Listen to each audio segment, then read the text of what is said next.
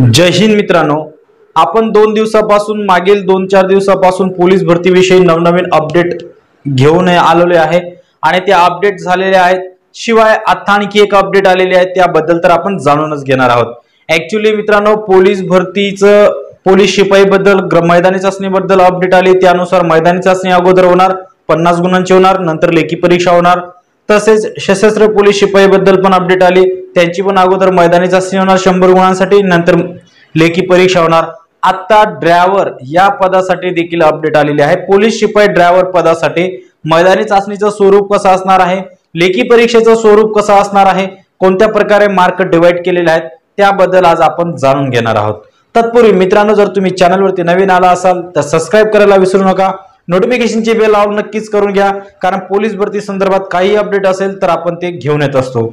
शिवाय मित्रांनो ज्या विद्यार्थ्यांना पोलीस भरतीचा ऑनलाईन कोर्स लावायचा आहे त्यांनी नक्कीच जॉईन करा. यामध्ये गणित बुद्धिमत्ता मराठी व्याकरण जनरल नॉलेज सर्व प्रकारचे व्हिडिओ लेक्चर घेतलेले आहेत.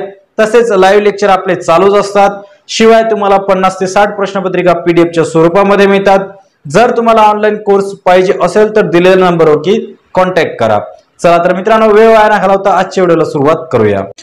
तर पहा मित्रांनो ज्या पद्धतीने पोलीस भरतीची नवनवीन दोन अपडेट आले होते त्याच पद्धतीने आता चालक या पदासाठी अपडेट आलेली आहे. एकंदरीत सत्तावीस जून दोन हजार बावीस ची ही अपडेट आहे. चला तर मित्रांनो जाणून घेऊया काय अपडेट आहे ते. तर पहा मित्रांनो एकंदरीत महाराष्ट्र सहाय्यक पोलीस उपनिरीक्षक चालक पोलीस हवालदार चालक पोलीस नाईक चालक आणि पोलीस शिपाई चालक नियम दोन हजार एकोणावीसच्या नियम सात ते दहा ऐवजी पुढील नियम दाखण्यात आलेला आहे. म्हणजे जे सात ते दहा नियम होते चालकासाठी त्यासाठी नियम चेंज केलेले आहेत. दोन हजार बावीसचे नवीन नियम म्हणावं लागेल. त्या अनुषंगाने अशा पद्धतीने तुमची शारीरिक चाचणी जी असणार आहे ती पन्नास गुणांची असणार आहे. एकंदरीत जे उमेदवार शारीरिक चा शैक्षणिक अर्हता पूर्ण करतील अशा उमेदवारांचे पन्नास गुणांची मैदानी चाचणी घेण्यात येणार आहे. तर पाहूया इव्हेंट्स कोणकोणते असणार आहे यामध्ये महिला पण अप्लाय करू शकतात पुरुष पण अप्लाय करू शकतात. पुरुषांसाठी फक्त दोनच इव्हेंट आहे मित्रांनो सोळाशे मीटर रनिंग आहे तीस गुणांसाठी. आणि गोळाफेक आहे वीस गुणांसाठी एकंदरीत पन्नास मार्काची ही मैदानी चाचणी असणार आहे. फक्त सोळाशे मीटर आणि गोळाफेक ज्याच्याकडे ड्रायव्हिंग लायसन असेल वाहन चालवण्याचा अनुभव असेल त्यांना खूपच फायदा होणार आहे. त्याच्यानंतर पुढचं महिलांसाठी अपडेट महत्त्वाचे मित्रांनो. महिला उमेदवारांसाठी आठशे मीटर रनिंग आहे तीस गुणांसाठी आणि गोळाफेक आहे वीस गुणांसाठी एकंदरीत पन्नास मार्काची ही मैदानी चाचणी होणार आहे अगोदर मुलां महिलांची पण. त्याच्यानंतर काय म्हटलंय? लेखी चाचणी शंभर गुणांची असणार आहे कोणकोणते विषय असणार ते पण बघूया. तर काय म्हटलंय? शारीरिक चाचणीमध्ये किमान पन्नास टक्के गुण प्राप्त करणारे उमेदवार. एकाच पंधरा या पद्धतीने लेखी गुणाच्या लेखी परीक्षेसाठी बोलवण्यात असणार आहे. म्हणजे एक जागेसाठी पंधरा विद्यार्थ्यांना बोलवण्यात येणार आहे. त्यामध्ये मग ते वेगवेगळ्या पद्धतीने दिलेले आहेत डिवायडेशन केलेलं आहे ते आपण बघूया. त्याच्यानंतर जी काय तुमची लेखी परीक्षा होणार आहे एकंदरीत लेखी परीक्षा तुमची शंभर गुणांची होणार आहे. एकंदरीत लेखी परीक्षा किती गुणांची होणार आहे? शंभर. तत्पूर्वी बघूया. गुण क्रमांक एकशे पन्नास वर असलेल्या अनुसूचित जाती प्रवर्गातील उमेदवार म्हणून अनुसूचित जाती प्रवर्गातील ज्या उमेदवारांना सारखेच गुण मिळाले आहेत असे सर्व उमेदवार लेखी चाचणीला बसण्यासाठी पुरवण्यात पात्र असतील.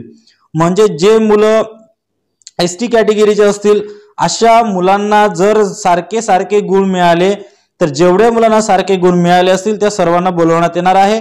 अशा पद्धतीने हे इथं म्हटलेलं आहे.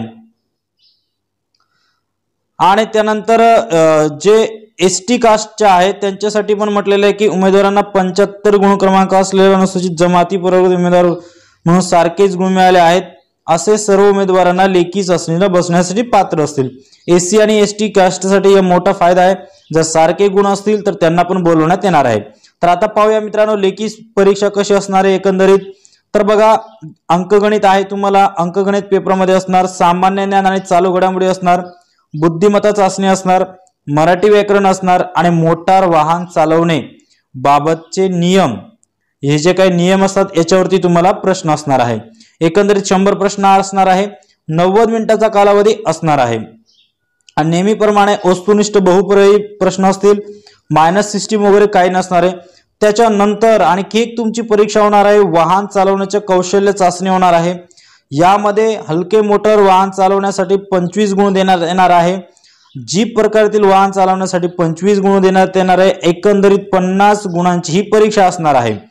तर काय म्हटले बघा लेखी चाचणीसाठी पात्र ठरलेल्या उमेदवारांना वाहन चालवण्याची कौशल्य चाचणी खालीलप्रमाणे द्यावी लागेल. सदर दोन्ही चाचणी एकत्रित किमान चाळीस टक्के गुण उमेदवारांना मिळवावे लागतील.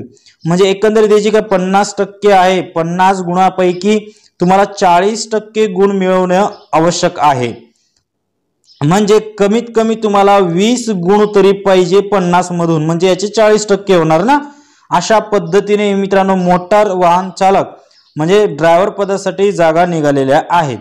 तर मित्रांनो अशाच नवनवीन अपडेटसाठी चॅनलला सबस्क्राईब करायला विसरू नका. नेक्स्ट लेक्चरमध्ये भेटूया. जय हिंद.